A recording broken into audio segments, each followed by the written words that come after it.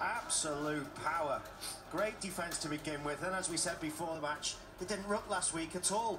This week they've come out in spades through the middle. But look at the strength. One, two. Denton goes way too high on him. Gets the fend, gets the acceleration. Looks at Penalty.